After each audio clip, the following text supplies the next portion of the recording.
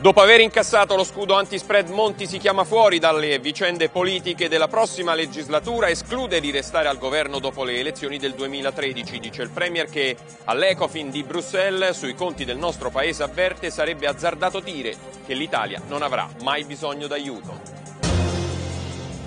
Dopo il pressing di Napolitano, entro dieci giorni al Senato verrà presentato un testo della legge elettorale come base di confronto prima di affrontare l'Aula, ma le posizioni tra i partiti restano lontane e la distanza maggiore è sulle preferenze, mentre dal vertice del PDL che insiste sul presidenzialismo sembra rafforzarsi l'idea di una nuova discesa in campo di Berlusconi.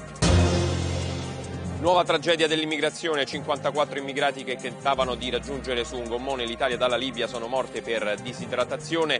Secondo la testimonianza dell'unico superstite, l'imbarcazione è rimasta alla deriva per due settimane tra la Tunisia e la Sicilia. Sempre più teso il dopo Mubarak in Egitto, l'Alta Corte ha sospeso di fatto e bocciato il decreto del neopresidente Morsi che voleva far riprendere l'attività del Parlamento che la giunta militare di fatto aveva sciolto il 15 giugno scorso, ora si teme un nuovo durissimo braccio di ferro.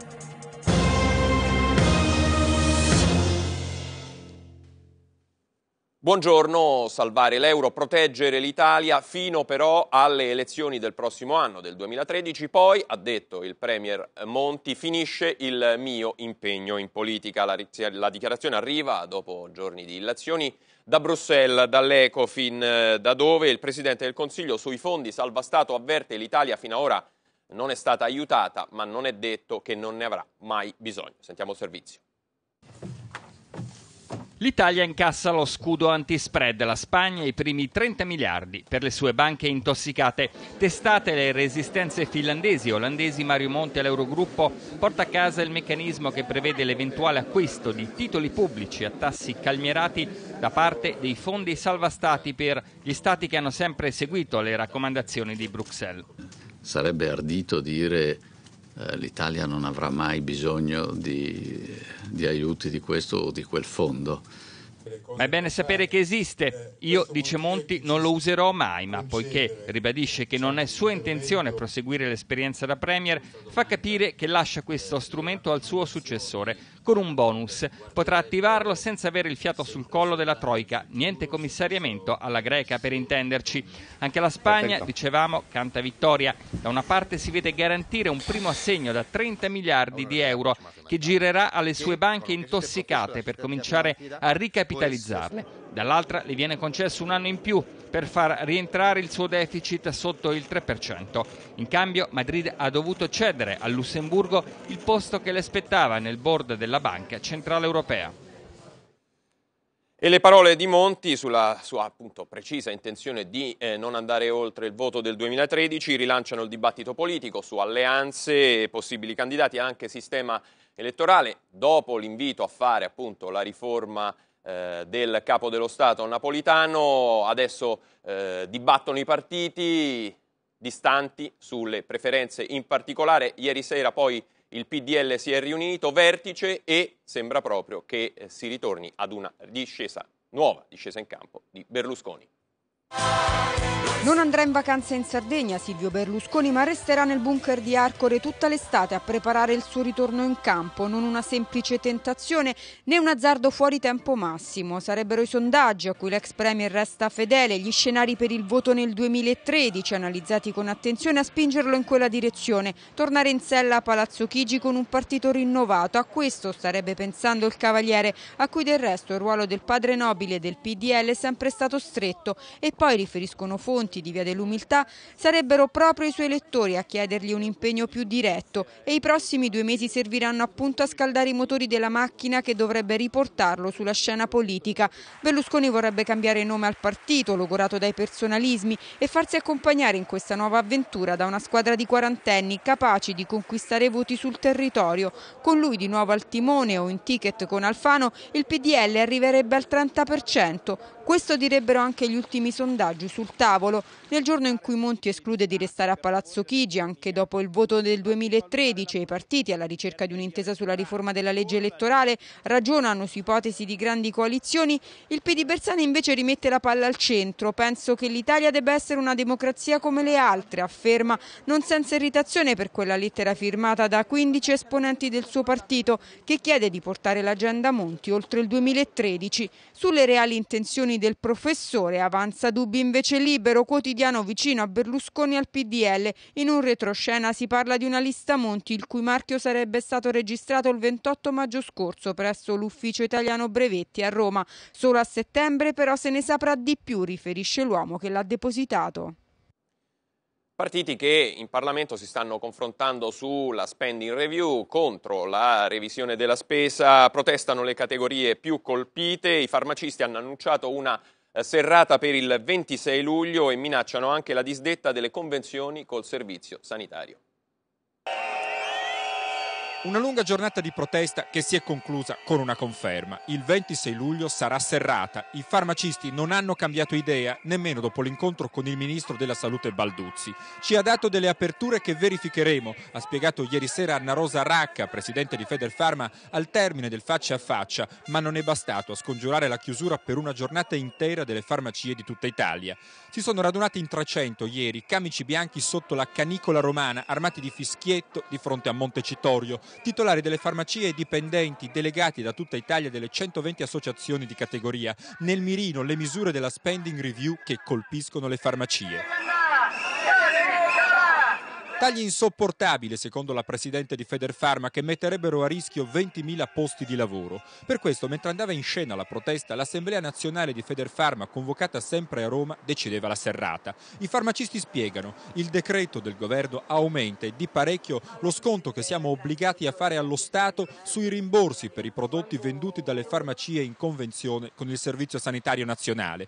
A rischio sarebbero soprattutto le farmacie che basano i loro incassi in via quasi esclusiva sulle vendite di farmaci convenzionati. Per la Federazione delle Farmacie Comunali, inoltre, le misure colpiscono in maniera ingiusta e sconsiderata la farmaceutica territoriale che rispetta regolarmente i livelli di spesa prevista. Insomma, a sentire i farmacisti dietro la protesta non ci sarebbero meri interessi corporativi, ma il rischio per la sopravvivenza stessa di molte farmacie. Presto, sostengono, diventerà impossibile garantire il servizio notturno nei comuni, oltre ai servizi oggi gratuiti per i cittadini.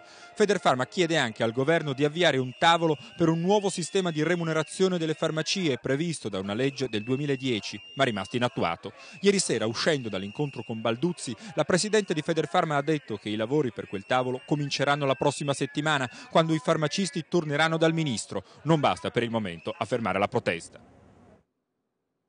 Protestano i farmacisti in allarme l'Inps per i conti del 2012. Nel bilancio preventivo, infatti, il Consiglio di indirizzo e vigilanza dell'ente ha rilevato che ci sarà un disavanzo di 6 miliardi che sfioreranno i 7 nel 2013 e 2014. Questo a causa del buco di bilancio di un altro istituto previdenziale, l'INPDAP, l'Istituto Previdenza dei Dipendenti della Pubblica Amministrazione, confluito l'INPDAP nell'INPS, o per meglio dire nel Super IMSS varato dal governo con il decreto Salva Italia in cui sono confluiti altri enti eh, oltre all'INPDAP. In un documento di, eh, del Consiglio di Vigilanza dell'INPS eh, si chiede al governo di adottare adeguate misure correttive per sanare il disavanzo economico e patrimoniale della gestione ex INPDAP e quindi garantire, viene sottolineato dall'INPS, la sostenibilità della spesa pensionistica. Allarme che riguarda chi prende la pensione, ma certo in Italia non va bene nemmeno per chi eh, cerca lavoro. I dati della disoccupazione giovanile nel nostro paese hanno abbondantemente superato il livello di guardia.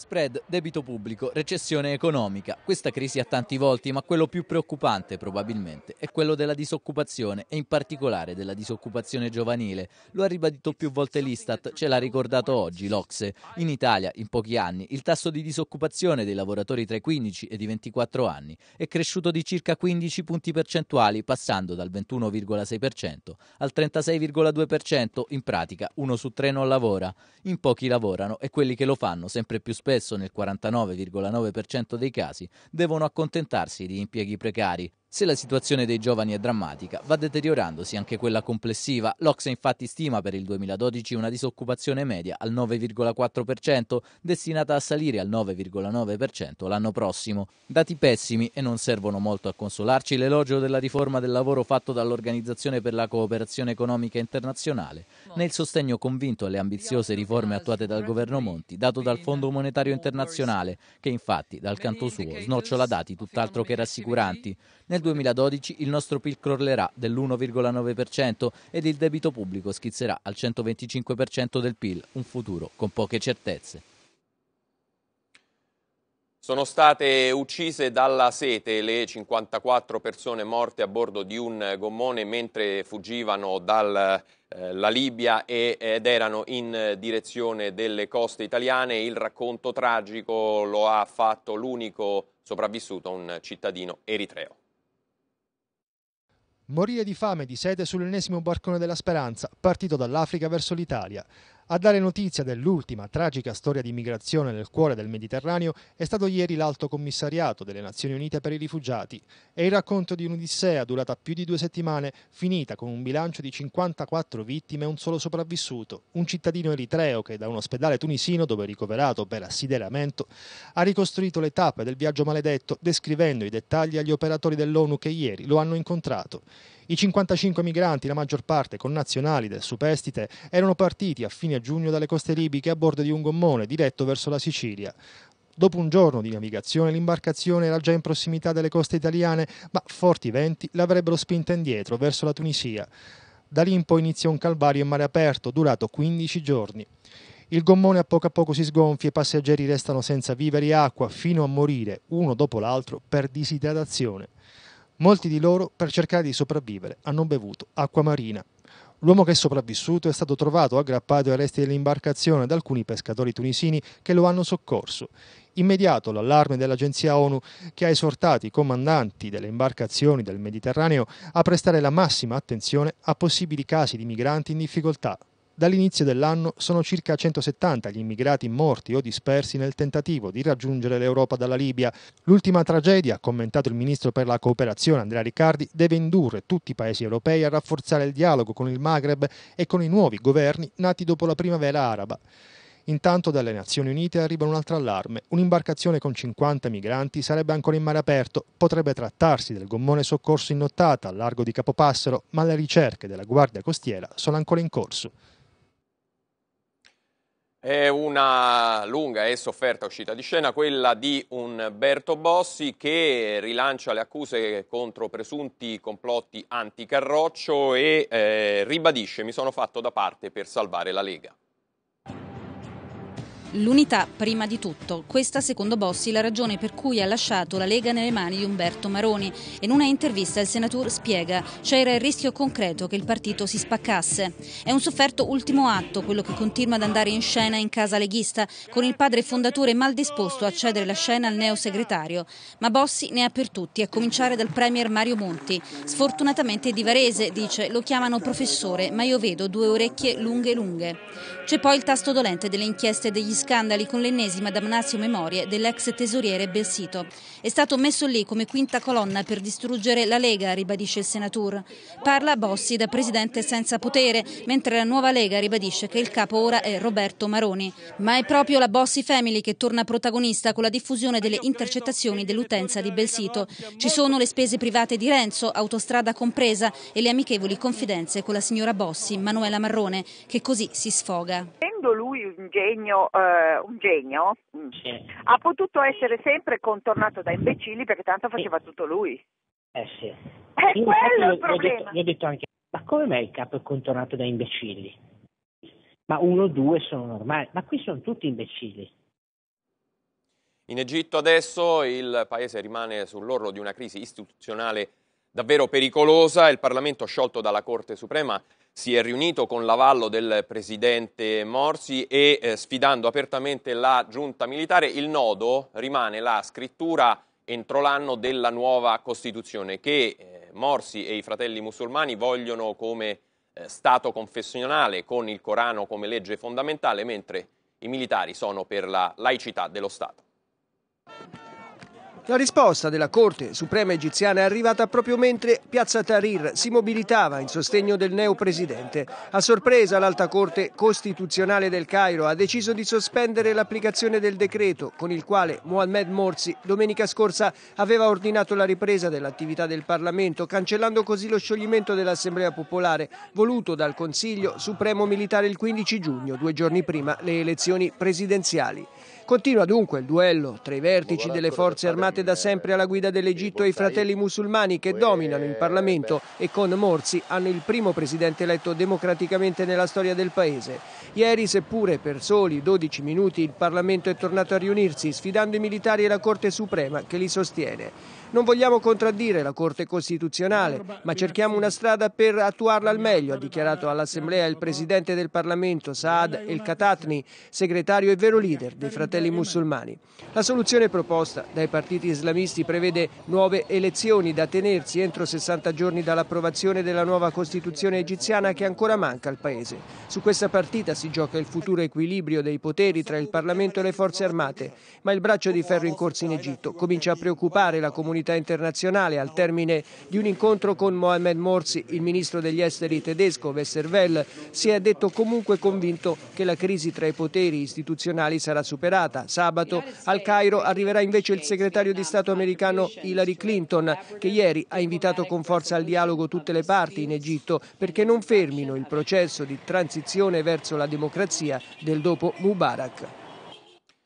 Il calcio scommesse, il procuratore federale Stefano Palazzi insieme ai suoi collaboratori è al lavoro sul terzo filone dell'inchiesta. Ieri ha interrogato i due pentiti, Andrea Masiello e Filippo Carobbio. I due giocatori sono stati messi sotto torchio dai giudici appunto della Corte federale della FIGC. Masiello è stato ascoltato per più di quattro ore su diverse partite sospette del Bari tra le quali eh, il match giocato con l'Udinese il 9 maggio del 2010. Ancora più lunga l'audizione del calciatore dello Spezia, Carobbio, già squalificato per 20 mesi, è stato chiamato a confermare le sue accuse nei confronti di Antonio Conte, allora allenatore della squadra del Siena, sulle partite Novara-Siena, Albino Leffe Siena e Siena Varese.